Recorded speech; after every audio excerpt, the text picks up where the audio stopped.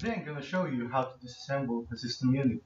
The first thing I'm going to do is remove the thumb screws that hold the side panel together.